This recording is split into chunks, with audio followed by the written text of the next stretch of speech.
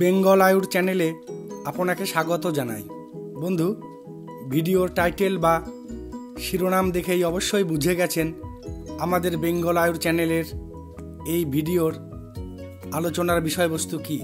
আসলে এই কনস্টিপেশন বা কোষ্ঠকাঠিন্যের সমস্যায় বয়স নির্বিশেষে অনেকেই ভোগেন।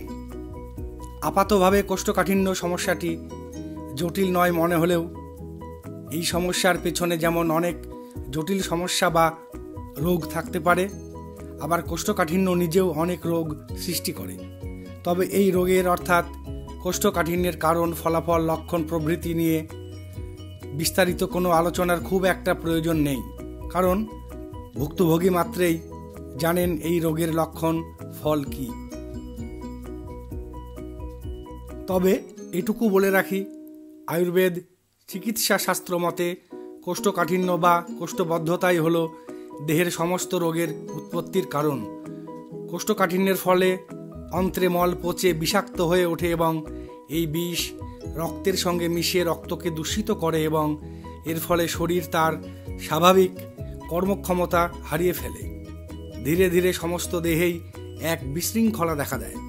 সুতরাং কনস্টিপেশন বা কোষ্ঠকাঠিন্যের সমস্যাকে সহজ ভেবে অচিকিৎসিতভাবে ফেলে রাখার মতো বোকামি না করাই ভালো। যাই হোক, এই ভিডিওতে আমরা দুটি ঘরোয়া সমাধানের কথা বলব। যার পক্ষে যে চিকিৎসা সুবিধাজনক এবং উপযুক্ত, তিনি সেই চিকিৎসাই নিতে পারবেন। সুবিধাজনক শব্দটি উল্লেখ করলাম, কারণ সব ভেষজ উপাদান সবার কাছে সহজলভ্য নয়। তাই যে ভেষজ উপাদান বা ওষুধের উপাদান আপনি সহজেই সংগ্রহ করতে পারবেন, আপনি সেটাই প্রয়োগ করতে পারবেন। আর উপযুক্ত বলতে বোঝাতে চাইছি, সকল ওষুধ সবার জন্য প্রয়োগযোগ্য নয়। যেমন ধরুন, অর্শরোগীদের কনস্টিপেশনের সমস্যা থাকলেও তারা কোনো জোলাপ অর্থাৎ কোষ্ঠকাঠিন্যের প্রচলিত ওষুধ খেতে পারেন না। কারণ এর ফলে অর্শের রক্তপাত বৃদ্ধি পায়। আবার বৃদ্ধ ব্যক্তিদের অনেকেরই কোষ্ঠকাঠিন্য থাকলেও তাদের কোষ্ঠকাঠিন্যের সব ওষুধ খাওয়া ঠিক নয়। এতে তাদের শারীরিক ক্ষতি হতে পারে। তাই সকল ওষুধ বা চিকিৎসা সকলের জন্য উপযুক্ত নয়। আর এই ভিডিওটিতে আমরা প্রথমেই কোষ্ঠকাঠিন্যের যে চিকিৎসার কথা উল্লেখ করব, যে কোনো বয়সের ব্যক্তি এই চিকিৎসা নিতে পারবেন। এমনকি অর্শরোগের রোগীরাও এই চিকিৎসা নিতে পারবেন। কোষ্ঠকাঠিন্যের সমস্যা ছাড়াও তারা অর্শরোগের ক্ষেত্রেও বেশ উপকৃত হবেন। প্রথম চিকিৎসা, এর জন্য আমাদের প্রয়োজন হবে কিছুটা হিং। পঞ্চাশ গ্রামের মতো হিং নিলেই যথেষ্ট। হিংয়ের ডেলাটিকে ছোট ছোট টুকরো করে কেটে বা ভেঙে নিতে হবে। তারপর টুকরোগুলোকে একটি কড়াইয়ে একটু ঘিয়ের সঙ্গে লাল করে ভেজে নিতে হবে।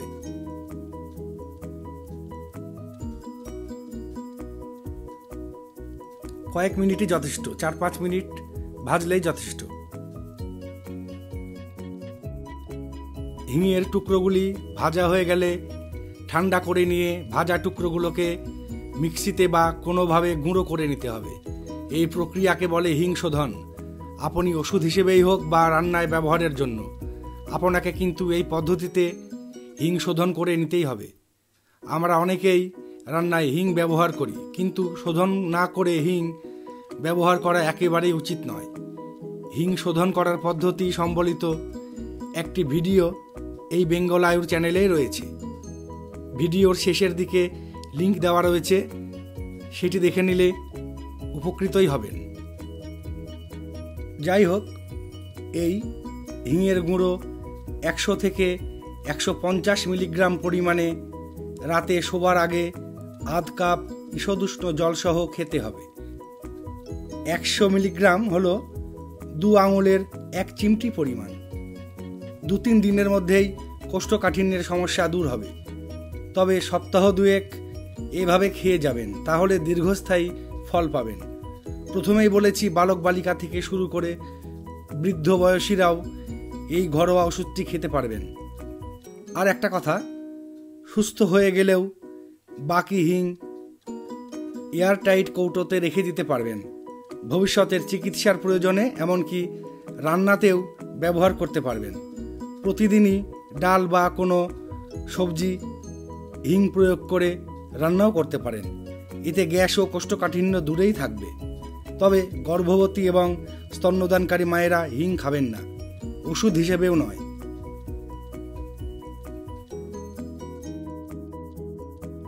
এবার আসি দ্বিতীয় ঘরোয়া চিকিৎসার প্রসঙ্গে।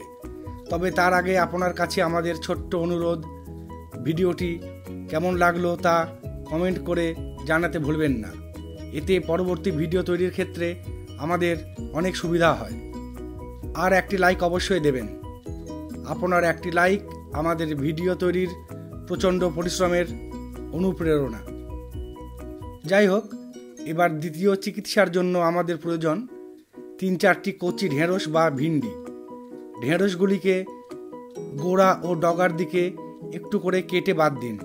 তারপর সেগুলি এক গ্লাস পানীয় জলের সঙ্গে খুব কম আছে এবং পাত্রের মুখ ঢাকনা দিয়ে ঢেকে গ্যাস স্টোভে দশ থেকে বারো মিনিট সেদ্ধ করুন। ঠান্ডা হলে ঢেঁড়সগুলি জল থেকে তুলে ফেলুন। এবার এই ঢেঁড়স সেদ্ধ জল পান করুন। দিনে দুবার, অর্থাৎ সকাল ও বিকেল, এভাবে ঢেঁড়স সেদ্ধ জল পান করুন। প্রথম দিনেই উপকৃত হবেন। দু তিন দিন এভাবে খেলেই যথেষ্ট। আজ এই পর্যন্তই। ভিডিওটি দেখার জন্য আপনাকে ধন্যবাদ।